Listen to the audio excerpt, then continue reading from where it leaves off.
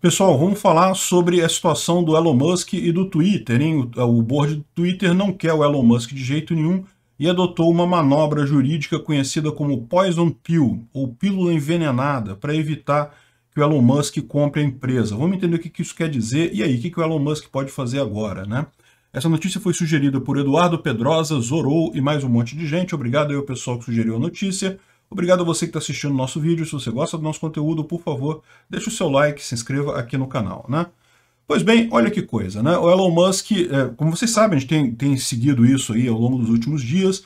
O Elon Musk tem 9,1% das ações que ele comprou no início do ano, e daí ele, ele chegou a ser oferecido uma cadeira no board de diretores, ele recusou, recusou um acordo, e daí ele é, ofereceu para comprar toda a empresa num preço muito acima do mercado, e é, a expectativa dele é que os acionistas aceita, é, votassem isso daí, e se a maioria dos acionistas aceitasse a oferta dele, a empresa seria fechada, ou seja, ele pagaria o valor da ação acima do valor do mercado, 54,20 o valor da ação, né? ele tem que botar um 4,20 em algum lugar ali, mas enfim, um valor acima da ação, e daí é, o Twitter passaria a ser uma companhia fechada, o, o dono, o Elon Musk.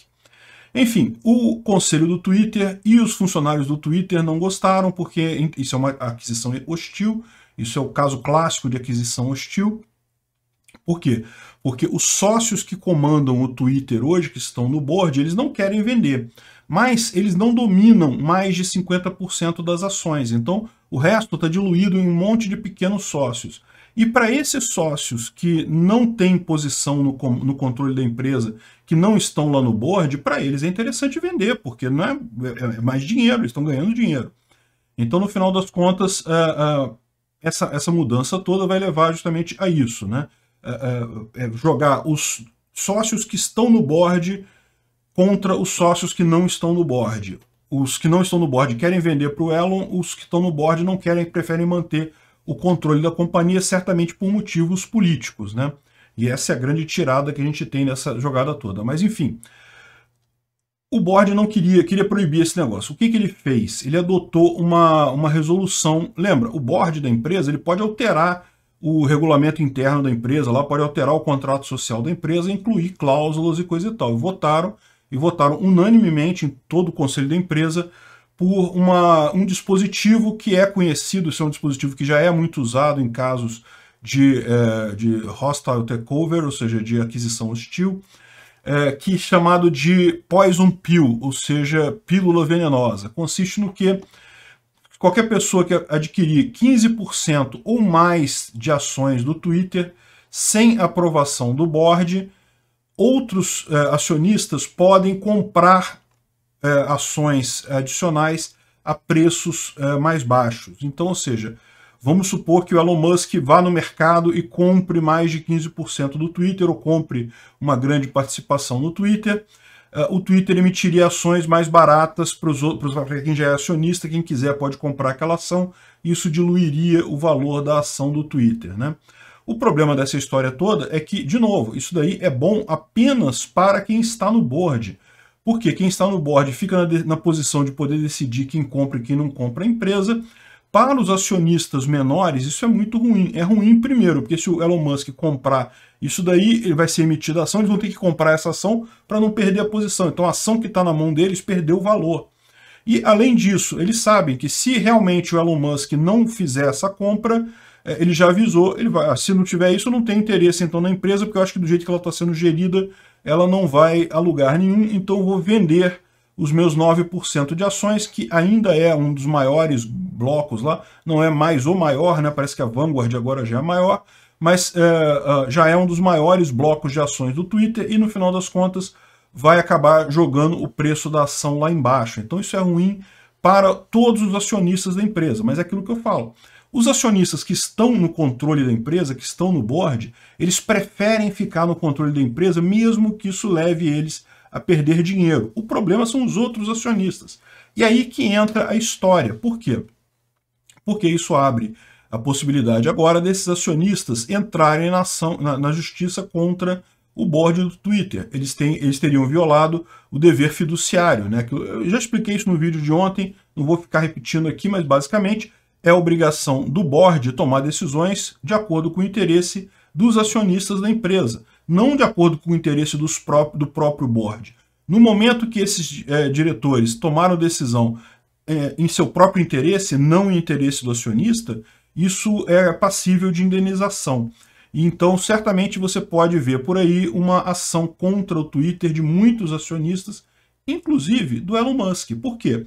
Porque o Elon Musk, justamente, ele é um acionista, ele tem 9% das ações e ele não está no board. Por isso ele recusou a posição no board, porque agora ele pode processar o próprio board do Twitter. Aliás, há quem diga que, na verdade, essa era a ideia dele o tempo todo.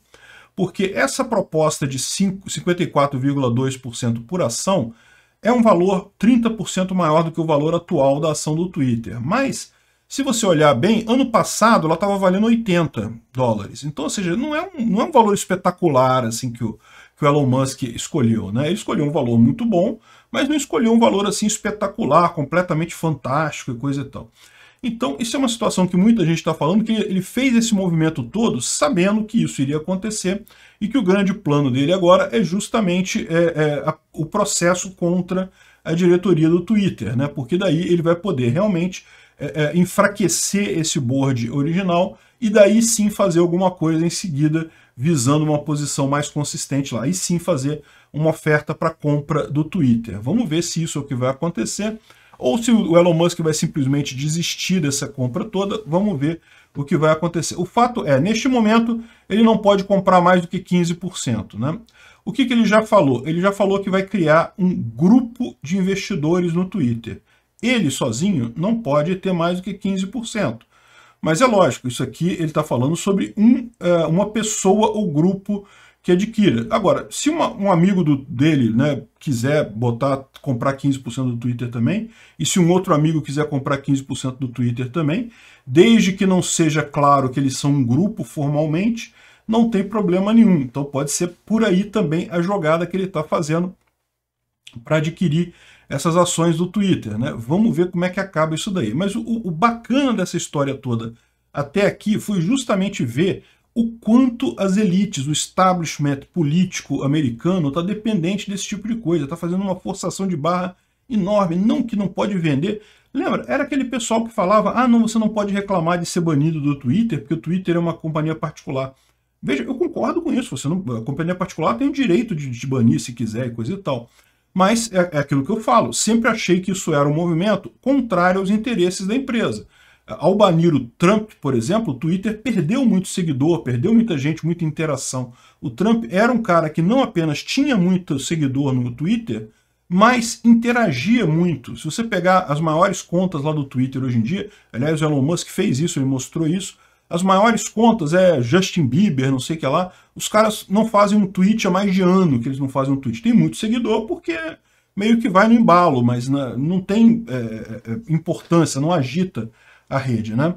Então é isso daí. É, vamos ver o que, vai acontecer agora. O Elon Musk e outros acionistas do Twitter devem seguir o caminho legal, devem entrar com uma ação contra o board do Twitter, justamente porque a decisão foi contra, contrária aos acionistas.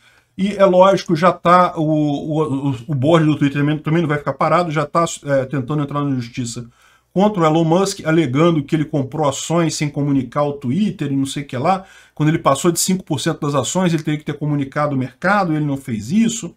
Enfim, também estão fazendo uma ação é, contra o Elon Musk. Ou seja, vai, vai virar uma grande guerra é, judicial, isso daí que tende a prejudicar muito o preço das ações do Twitter. Né?